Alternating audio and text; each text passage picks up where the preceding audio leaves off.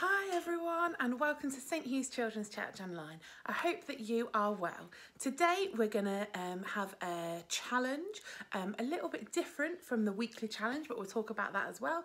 And um, we're going to listen to a story um, all about Jesus and the very start of his ministry um, here on earth. And to do so, we're going to be looking in the New Testament.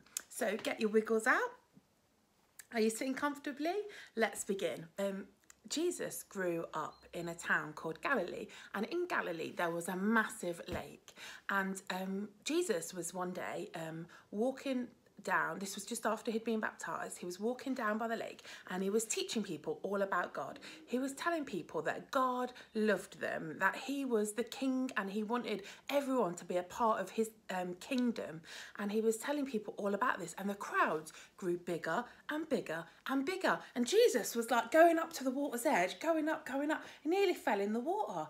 So he asked this man called Peter, who was a fisherman and had his boat there at the lakeside, could I go out in your boat? Um, and we could go out and I could teach more people from your boat. Jesus does this a few times in the Bible.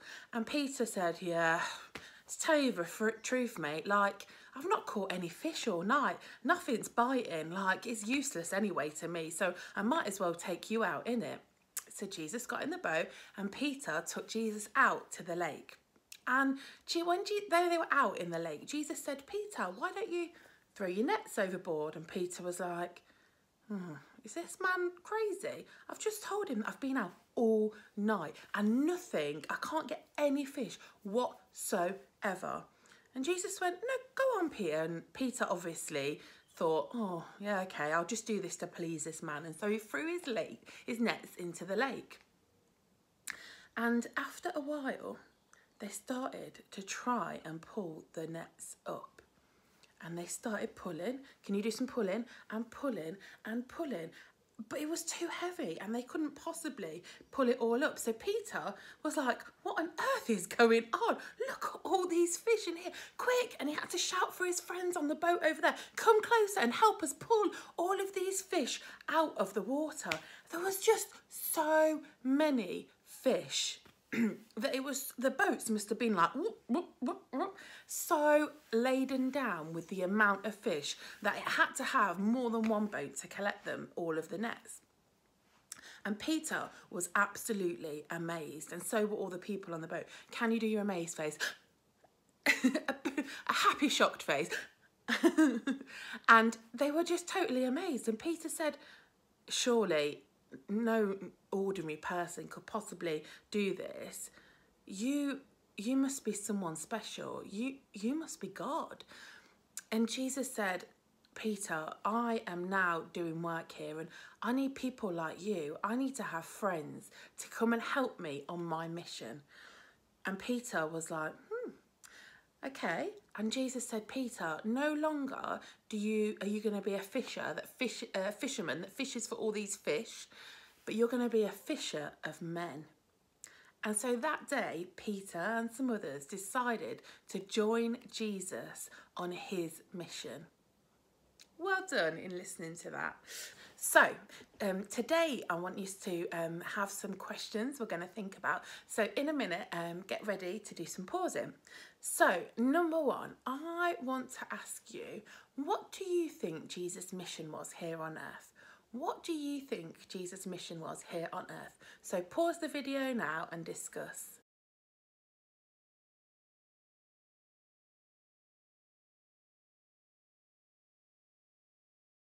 Well done. Okay, so question number two, I want you to talk about what is a fisher of men. So Jesus said, you're not going to be no longer be a fisherman of fish, you're going to be a fisher of men. I want you to pause the video now and discuss that.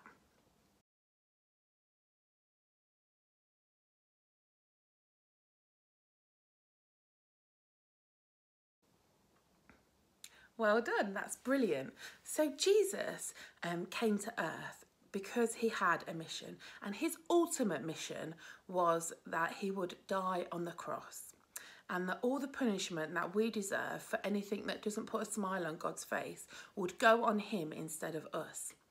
But he also had other mission, didn't he, while he was here on earth? And that was to show everyone God. It was to show everyone that God loved them and wants them to be a part of his kingdom. And so Jesus knew that he needed friends to do that. And so he called Peter and some other friends. And we know that he had 12 disciples and lots of other people that followed him too.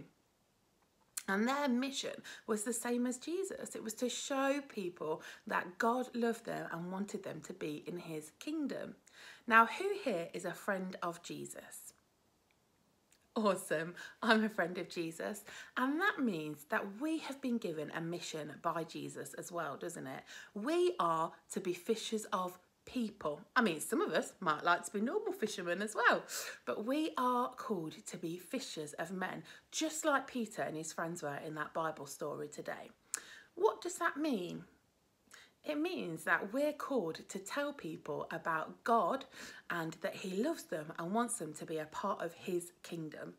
So we're going to um, pause in a minute and I want you to come up with some really cool ideas of how you can be fishers of men. And at the moment, um, with being inside, that maybe looks a little bit different than it normally would. But I want you specifically to think about right now at this time um, and this moment how you can be fishers of men. So pause the video now and discuss.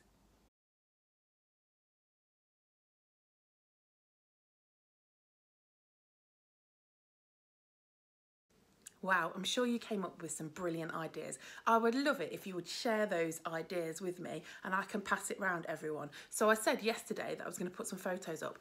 I've not managed to plug my printer in yet to show you the photos, but people have sent some photos I'm going to show you for the different challenges that have been going on. Please do send photos or send um, uh, me uh, the ideas that you've had or send me anything that you write. It'd be brilliant. I know some of you are so good at writing poems and spoken word. It'd be brilliant if you could share those. I've already put up my stars from yesterday's um, chat talk on Abraham and Sarah. So please do keep them coming in and I'll be able to share them with everyone. So we're going to pray now. If you'd like to close your eyes. Dear God, we thank you that Jesus came to earth and that he died on the cross for us so that we could have a relationship with you. But we thank you that he also taught us about another mission the mission to tell everyone about you, to tell everyone that you love them and want them to be a part of your kingdom. Please help us to do that, to share your love with everyone in thought, in word, in action, and in deed. We pray for all of the people that are still working at the moment. We pray that you would be with them and keep them safe. We pray for our parents who are getting us to do our homework at home. We thank you that they are trying really hard. Help us to be patient, God. Help us to love each other even when we're really frustrating each other. Help us to remember that you are love and that we need to love other people. Amen.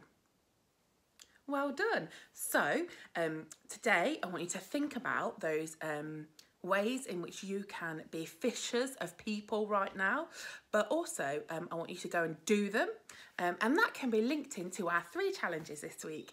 Do something for God, do something for others, and do something for yourself. Please keep them coming in, all of your thoughts, and um, probably at the beginning of next week, we'll share any testimonies, which is just our story. Of anything that we've done for ourselves, for others, and for God. Um, take care, and I'll see you tomorrow. Bye.